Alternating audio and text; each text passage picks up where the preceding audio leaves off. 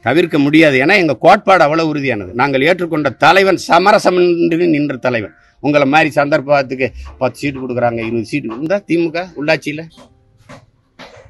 இவ்வளோ பெரிய கட்சிங்கிறீங்க ஆட்சியில் இருக்குங்கிறீங்க அதிகாரத்தில் இருக்குன்றீங்க.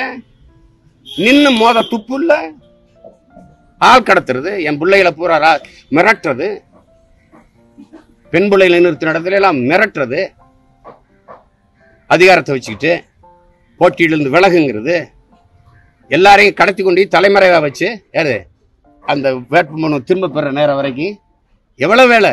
நாடங்களும் நாலஞ்சு நாளாக ஒரு தூக்கம் இல்லாமல் பெரிய போராட்டமாகி ஆளை கடத்தி கொண்டாந்து வச்சு இப்போ சரி நிற்கிது சரி வா மோது நீங்கள் பெரிய ஆளுகள் ஆயிடுச்சப்பா ஒருத்தர் சொல்லுக்காரு என்ன என்ன ஒன்று பத்து ஓட்டு வாங்க பத்து ஓட்டுன்னு வாங்குறேன் ஒரு ஓட்டு வாங்குறேன். உனக்கு என்ன பிரச்சனை? ஏன் பயப்படுறீங்க?